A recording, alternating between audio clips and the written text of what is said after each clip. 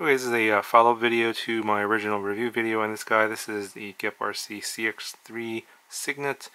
Uh, very nice 3-inch micro. I'll put a uh, card in the corner and link down in the description to the original video. This is uh, something I, kind of left out in the original video, and a lot of people were asking me uh, where, where was that footage on the uh, long flight times on the 750 milliamp hour GNB LiPo. And the reason people are interested in that is because it, this combo here is under 250 grams. I think I showed it in the video, but I'll just go ahead and show it this one more time. I think it's like 227 grams, something like that together. Yeah, 227 grams. Um, you could probably go to an 850. I don't, I don't have an 850, so I'm not exactly sure how much that's going to weigh, and still be under 250 and get a really long flight time, and even longer than, than what I got. Um, so on this combination here, I got about 10 minute flight time. And I think on an 850 GNB, you'll probably squeeze another minute out. So yeah, if you're looking for like long flight times, HD video recording, um, I think the one, uh, the one, the other one that, that has the R9M is going to give you more longer range, and this one here is the XM Plus version. Um, yeah, so if you're looking for a long range HD video recording in a under 250 gram micro, uh, highly recommend. Uh, this guy flies great, good tune out of the box good flight characteristics, um, and yeah, it has a little bit of acro ability. It's really meant for cruising around and getting HD footage, good video from the Split Mini V2, and with this battery here, you're going to get a really long flight time. So with that, and show you that uh, test flight that I did a while back. Um, just kind of flying around, just wanted to see how much flight time I can get out of this battery and this combination. And if you're looking for something like that, definitely check it out. I'll put links to all this down in the description.